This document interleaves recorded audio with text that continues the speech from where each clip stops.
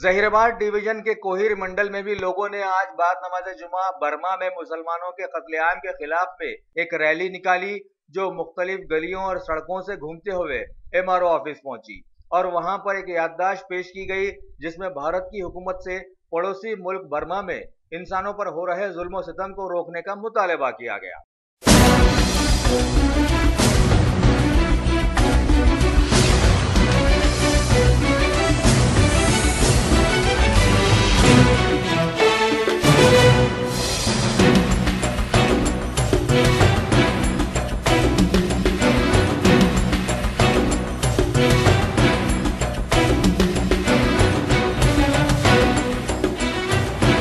یہ ہے۔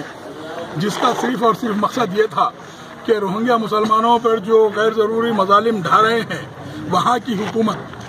تو ہم اپنی حکومت سے یہ مطالبہ کرنا چاہ رہے ہیں کہ جو ہے ان پر دباؤ کو برقرار رکھیں اور جو ہے وہاں پر جو انسانی ناطے انسانی ہمدردی کے ناطے وہاں پر جو مسلمانوں کی جان، مال اور آبرو کی جو وہاں پر جو قتل عام جو ہے کر رہے ہیں، ہم جو ہے ہماری حکومت سے یہ پرزور مطالبہ کرتے ہیں کہ اپنا جو ہے ایک پرستاؤ جو ہے یو این او میں رکھو کہ بھئی یہ جو ہے اس طریقے کے انسانیت سوچ جو ہے مظالم نہیں چلنے والے ہیں۔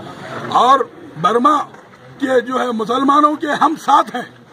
ہر طریقے سے ہم ساتھ رہیں گے۔ ان کے مظالم کے ساتھ مظلوموں کے ساتھ ہم کھڑے ہوئے ہیں۔ اور ہندوستانی مسلمان بھی جو ہے اس کی پرزور مذمت کرتا ہے۔ نہ کہ جو ہے کوہیر، بلکہ ہندوستان کے مسلمان اور جو لوگ فرقہ پرست نہیں ہیں، وہ بھی ہندو جو ہے اس انسانیت سوز مظالم کی پرزور مخالفت کرتے ہیں، مذمت کرتے ہیں۔ ہم وزیر اعظم نریندر مودی کو یہ کہتے ہیں، یہ یہ کہتے ہیں، ان سے یہ استدعا کرتے ہیں کہ وہ اس معاملے میں جو ہے یو این او پر یا اپنی حکومت کی طرف سے اس حکومت برما پر دباؤ ڈالیں اور اس طریقے کا ظلم و زیادتی کو جو ہے ختم کرنے کے لیے کوشش کریں۔ ہم ان سے یہ امید رکھتے ہیں۔ اتنا کہتے ہوئے میں اپنی بات کو ختم